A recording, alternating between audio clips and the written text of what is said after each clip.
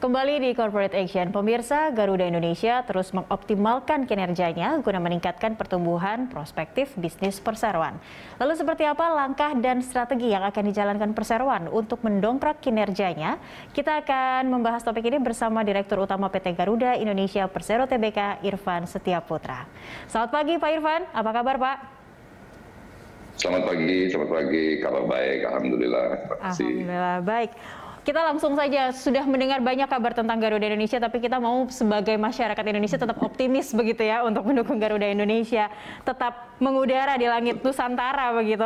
Tapi kalau kita ingin berbicara soal kinerja Garuda untuk semester pertama tahun ini, Pak, uh, karena ada juga sebenarnya perbaikan kinerja dengan adanya pertambahan uh, apa namanya pendapatan juga sebenarnya ada begitu ya. Tapi sebenarnya kinerja di semester satu ini seperti apa, Pak? Ya, jadi ada ada dua hal ya kalau kita ngomong kinerja di semester pertama 2021 ini ya. Jadi yang pertama adalah semester 1 2020 mm -hmm. itu kita sebagian dari 2020 semester pertama itu kita belum COVID ya. Jadi situasi masih normal. Yeah. Ya kan. Yang kedua memang uh, tadinya kita berharap semester 1 2021 ini merupakan kelanjutan dari perbaikan kinerja kita di uh, kuartal 4 2020. Hmm. Tapi memang dengan munculnya varian baru dan kebijakan pengetatan mobilitas masyarakat yeah. di, dimulai pada bulan Januari kita akhirnya uh, mencatatkan pendapatan yang turun sebesar uh, 24 persen dibandingkan uh, periode yang sama di tahun sebelumnya. Yeah. Jadi total uh, pendapatan kita itu di 2021 semester 1 itu uh, mendekati 700 juta, hmm. lebih persis angkanya 696,8 dan ini memang mayoritas masih dikontribusi oleh penerbangan berjadwal. Hmm uh, sebesar 556 sementara sebesar 4, hampir 42 juta itu penerbangan uh, tak berjadwal. Tapi yang menarik dari penerbangan tak berjadwal ini peningkatannya hampir mendekati 94 persen dibandingkan uh, sebelumnya hmm. dan kemudian juga uh, uh, apa ada pendapatan lain-lainnya sebesar 98,6 juta. Nah ini yang kita memang uh, jaga terus pada waktu semester 1 dan memang di semester kedua ini khususnya di kuartal ketiga kita masih menyaksikan uh, terjadinya kontraksi ya yang ya. cukup ketat terhadap mobilitas masyarakat yang tentu saja akhirnya berimplikasi kepada Garuda, mm -hmm. ya kan. Baik. Jadi uh, itu yang kita yang dapat saya sampaikan ya. Baik, itu untuk kinerja di semester 1. Tapi berarti ini tidak dipungkiri bahwa uh, dari lini bisnis yang non penumpang itu tadi memang bisa menjadi salah satu penopang dari uh, Garuda Indonesia untuk saat ini. Uh, seperti apa perkembangan dari non penumpang atau kita berbicara soal bisnis kargo sekarang yang sedang disasar oleh yang sedang dijalankan oleh Garuda, Pak Irfan?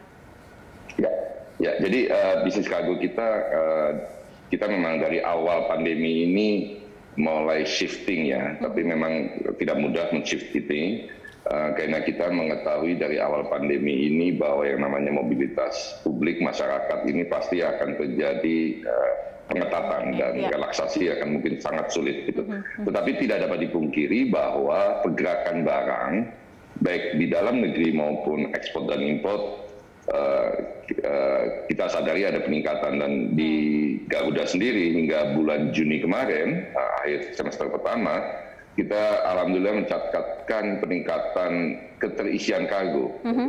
Jadi keterisian kargo ini kita istilahnya adalah cargo load factor. Jadi uh, di dalam pesawat itu ada berapa banyak, berapa besar uh, mampu diisi oleh kargo kita okay. sudah bisa mencapai 75 persen jadi hampir okay. hampir penuh mhm. dibandingkan sebelumnya hanya 56 persen ya mhm, mhm. dan uh, penerbangan internasional kita yang masih kita jalankan sangat terbatas uh, alhamdulillah secara rata-rata bisa mengisi hampir 25 ton uh, kargo ini tentu saja uh, mendukung ya uh, upaya pemerintah di sisi ekspor dan uh, juga uh, penerbangan kita dari sentra-sentra produksi di seluruh Indonesia itu kita Baik. lakukan. Jadi ini ya yang mengakibatkan peningkatan sebesar ini. Ya, itu secara presentasi kurang lebih hampir menyentuh angka 93 persen begitu kenaikannya. Kalau secara uh, pendapatan uh, total begitu dirupiahkan mungkin berapa uh, pendapatan yang bisa diperoleh oleh Garuda untuk saat ini untuk kargo sendiri begitu Pak? Jadi uh, saya lebih suka menyebutkan kita ngomong total tadi ya pendapatan, tapi saya lebih suka sebenarnya bicara soal peningkatan kontribusi hmm. terhadap total pendapatan. Baik. Jadi kalau sebelumnya di sebelum pandemi ini kita menyaksikan di single digit atau low double digit, hmm. eh, kita hari ini sudah bisa menyaksikan di angka 30-an persen lebih Baik. kontribusi kargo terhadap total pendapatan. Hmm. Artinya apa? Artinya kalau kita bisa maintain pendapatan kargo dan kita bisa tingkatkan sampai pada level maksimum, ya. uh, begitu nanti penumpang mulai boleh terbang Normal, dan ya. mulai lebih sering mengisi, uh -huh. uh, tentu saja dari sisi pendapatan dan uh, kontribusi kepada perusahaan akan sangat positif. Hmm, hmm, hmm, baik, kita harapkan penumpang bisa mendominasi lagi begitu dari dari kapasitas uh, pesawat Garuda. Tapi apakah nanti ke depannya ya. kargo ini juga masih akan menjadi uh, lini yang dikedepankan begitu oleh Garuda nantinya, Pak Irfan? Tentu, tentu. Hmm. Kita hari ini malah bisa uh, sudah punya dua freighter. Dua freighter itu Baik. adalah pesawat, pesawat penumpang yang kita konversi menjadi pesawat khusus kargo ya. Baik. Dan uh, ini akan terus akan menjadi salah satu uh, sumber pendapatan kita. Uh, dan yang kedua adalah menjadi kontribusi kita uh, menyebarkan uh, barang ke seluruh Indonesia, tetapi yang lebih menantang dan menarik buat kami di Garuda ini memastikan bahwa kita partisipasi aktif untuk ekspor. Hmm. Nah, khusus kargo ini kita juga melakukan approach yang agak berbeda dibandingkan uh, secara tradisional ya. Jadi yang pertama kita membuka peluang untuk charter kargo, jadi khusus okay. penerbangan khusus kargo. Kargo yang bisa. Yang kedua adalah ya, yang kedua adalah interline. Jadi kan diketahui Garuda ini nggak terbang ke seluruh negara di seluruh dunia, -huh. gitu kan. Tetapi kerjasama kita yang baik dengan beberapa airlines yang lain memungkinkan kita hari ini menawarkan kepada para teman-teman uh, kita, yeah. uh, para eksportir, jangan khawatir biar Garuda yang urus bagaimana menyambung itu ke Amerika misalnya ke atau ke Amerika baik, Selatan. Baik. Karena kerjasama kita dengan uh, airlines lain. Baik, berarti membuka peluang bagi hmm. uh, mungkin ada korporasi atau perseroan yang bergerak di bidang uh, produksi begitu, distribusi ya jangan khawatir. Ya. Kita masih punya Garuda Indonesia yang bisa membawanya terbang ke tujuan begitu ya Pak Irfan. Pak Irfan, kalau untuk ada Betul. ada konsep baru yang juga ingin di, dilakukan atau menjadi gebrakan oleh Garuda, New Garuda Indonesia, akan seperti apa New Garuda Indonesia, Pak? Ya, jadi seperti diketahui saat ini kan kami dalam proses melakukan restrukturisasi keuangan hmm, maupun ya. restrukturisasi ya. operasional. Uh, uh, saya dan teman-teman di Garuda ini selalu memulai sesuatu dengan uh, filosofi begin hmm. with end of mind gitu. Jadi kita lakukan ini tujuannya ke mana sih ya? Tujuannya uh, kita banyak yang mengatakan itu new Garuda, tapi banyak yang nggak suka dengan istilah new, uh, ada yang sebut Garuda uh, post restructuring. Okay. Tapi saya ingin menyatakan ini tetap Garuda Indonesia yang selama ini anda kenal dari sisi di luar. Mm -hmm. Tetapi uh, filosofi kita ke depan adalah yang pertama tata kelola yang lebih benar, hmm. lebih agile, lebih fokus dan lebih adaptif. Nah untuk itu ada tiga hal yang kita akan sangat fokuskan ke depan. Yang pertama ya. adalah ini mesti jadi perusahaan yang memastikan kepada semua stakeholdernya bahwa ini mungkin uh, mungkin dan harus untung. Hmm, kita baik. ini PT ya. ya. PT kita punya shareholders juga publik, kita perusahaan terbuka, kita harus punya keyakinan diri dan memastikan kepada stakeholder kita bahwa dengan konsep baru kita kita pasti untung. Pasti untung. Ya kan? Yang kedua adalah kita bikin simple. Jadi uh, Garuda ini udah bukan waktunya lagi menjadi showroom dari semua jenis pesawat yang ada di dunia. Ya. ya kan? Nah, karena implikasi operasionalnya tuh dengan makin banyak jenis pesawat itu Semakin makin uh, kalau istilah anak sekarang makin ribet gitu makin kan. Ribet, makin baik. ribet. Gitu. Lebih simpel, lebih ketiga, baik begitu. Lebih ya, lebih simpel. Yang kemudian kita mau jadi lebih trusted lah, lebih dipercaya, lebih Uh, bisa dipegang uh, komitmen-komitmen kita. Nah, untuk itu kita akan melakukan beberapa inisiatif ya. yang salah satunya adalah kita akan lebih banyak fokus ke domestic market, ya. Mm-hmm. Uh, kemudian kita akan meneruskan dan mendalami, mengetatkan kerjasama kita dengan anak perusahaan kita Citylink, gitu kan. Okay, Pembagian tugas dan uh, rute yang lebih baik, lebih tepat, sehingga tidak menimbulkan kebingungan di publik, gitu kan. Baik, baik. Nah, sementara untuk hmm. internasional, kita akan sangat fokus ke kargo sambil sambil tetap memastikan bahwa uh, national flag carrier ini tetap uh, representasinya ada. Baik, Pak Irfan, nanti kita akan bahas lebih hmm. uh, detail lagi mungkin untuk seperti apa konsep New Garuda Indonesia bisa diaplikasikan di anak usaha Garuda sesaat lagi. Pemirsa tetaplah bersama kami, Dialog Corporate Action akan kembali sesaat lagi. Pemirsa Garuda Indonesia telah melantai di Bursa Efek Indonesia sejak 2011. Sementara anak usahanya GMF Aero Asia listing di BEI pada 2017. Kita akan lihat sejumlah data berikut.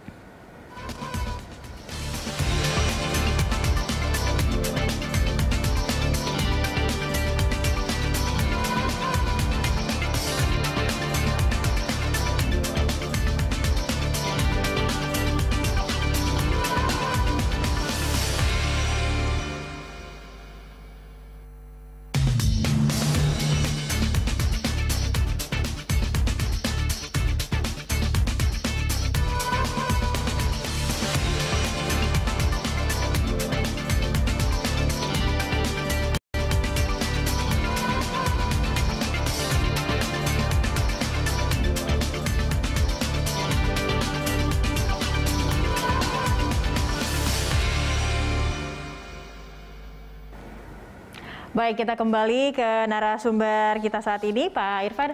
Kalau tadi sempat berbicara di segmen satu uh, bahwa ada konsep New Garuda Indonesia yang juga akan diterapkan atau diaplikasikan ke sejumlah anak usaha. Tadi Bapak sempat menyebut ada Citylink.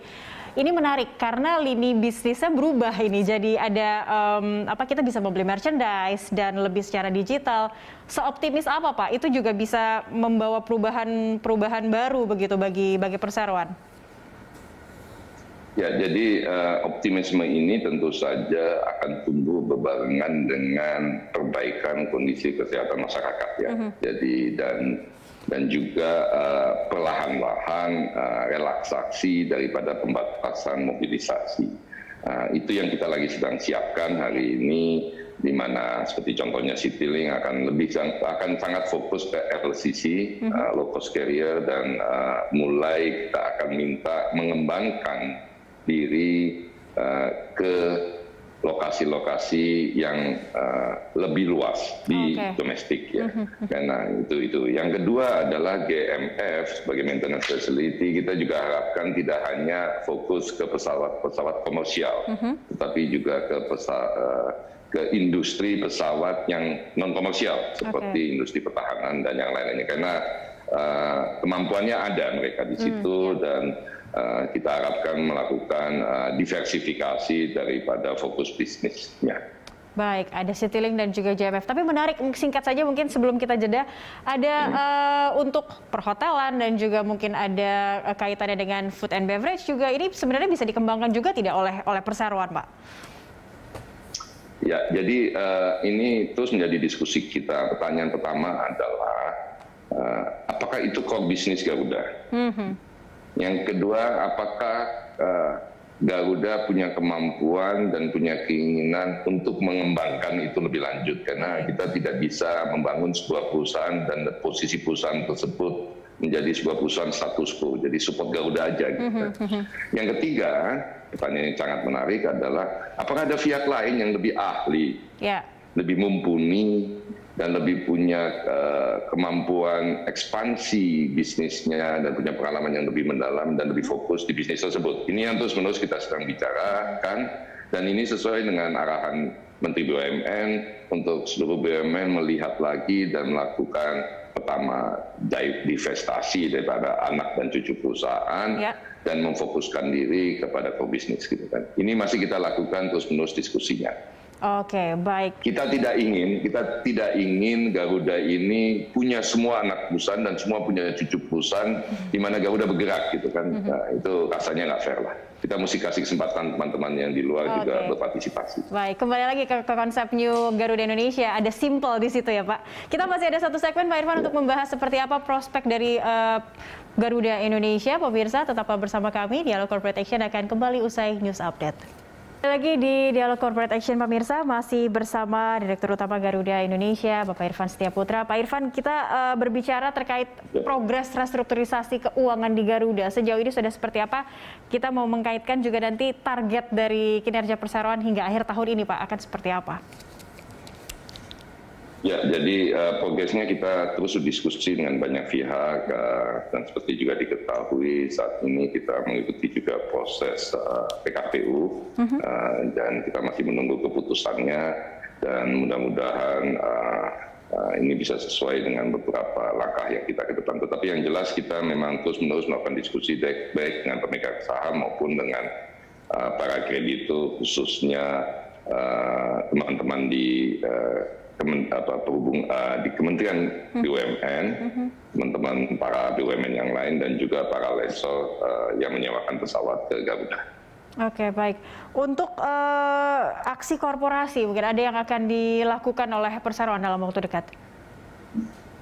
Hmm, tidak ada yang spesifik sih yang kita akan lakukan. Tentu saja uh, apabila diperlukan dan di uh, apabila diperlukan sebagai sebuah perusahaan terbuka tentu saja pasti kita akan uh, umumkan yang pertama yang kedua atau lewat proses-proses seharusnya seperti uh, RUPS baik itu uh, RUPS luar biasa maksud saya gitu. Oke. Uh, itu pasti nanti akan kita kita kita lakukan uh, secara secara proper ya. Baik, Pak Irfan. Lalu untuk dukungan dari pemerintah sendiri sejauh ini uh, terhadap Garuda Indonesia seperti apa dan uh, untuk kelancaran dari dari proses dari perseroan sendiri akan seperti apa, Pak Irfan? Ya mungkin uh, uh, pertama adalah kita mesti memahami definisi kata dukungan ya. Jadi banyak orang yang selalu mengartikan secara harfiah dukungan itu dalam bentuk rupiah. Iya. Kalau tidak ada rupiah ya tidak ada dukungan. Tidak didukung begitu. Tapi saya ingin menyampaikan, saya ingin menyampaikan sebenarnya ke publik juga bahwa uh, Kementerian BUMN dan Kementerian Keuangan sebagai ultimate shareholders uh, terus-menerus berdiskusi dan melakukan segala macam upaya yang bisa dilakukan uh, untuk memastikan keberlangsungan daripada operasional perusahaan maupun uh, terkait dengan proses restrukturisasi ini saya kadang-kadang uh, boleh dikatakan cukup bangga, tetapi mm -hmm. juga kadang-kadang malu gitu kan ya karena kami salah satu BUMN yang mungkin paling sering di bertemu dengan Kementerian BUMN hari ini gitu kan. Uh, tetapi ini saya menerjemahkan sebagai bentuk keseriusan dan dukungan dan mencari segala macam upaya yang bisa dilakukan sebagai pemegang saham yeah. untuk mendukung operasional uh, perusahaan. Kita menyaksikan sudah ada uh, PEN, kita juga menyaksikan uh, aktivitas di holding pariwisata Betul. dan juga kom, uh, komitmen kita bersama dengan shareholders untuk memastikan likuiditas ini berlangsung secara baik gitu kan. Jadi uh, sangat sangat berterima kasih terhadap dukungan pemegang saham maupun Kementerian BUMN secara khususnya. Baik, saat ini juga uh, geliat pariwisata kita sudah mulai mendapatkan nafas baru kembali. Semoga ya. di samping itu Garuda bisa ada begitu ya Pak ya. Baik, terima kasih ya. Pak Irfan Setiaputra, Direktur Utama PT Garuda Indonesia untuk waktunya Pak. Salam Sama-sama. sehat selalu. Salam sehat selalu, selamat pagi, terima kasih. Baik pemirsa, Corporate Action akan kembali dengan informasi dari pasar saham sesaat lagi.